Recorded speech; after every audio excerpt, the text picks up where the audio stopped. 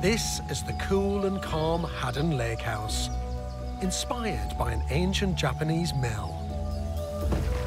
And the driveway is truly magical.